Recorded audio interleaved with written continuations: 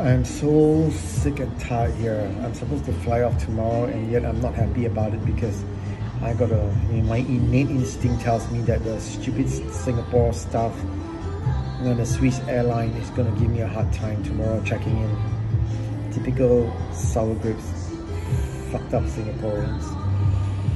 Jealous and uh, despicable.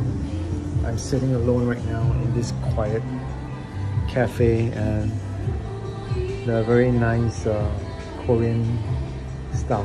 She made the nice banana avocado smoothie for me. I finished everything and um, it's really nice. So I'm trying to chill out. I have one more day to go. Then tomorrow I'm away.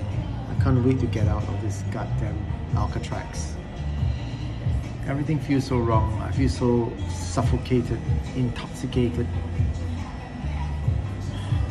constipated here. There is nothing nice about being here.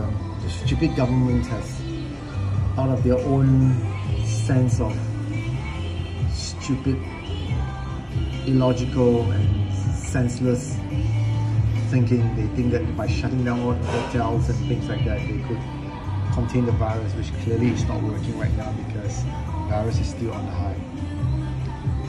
Well, enough of my rant. See ya. Bye.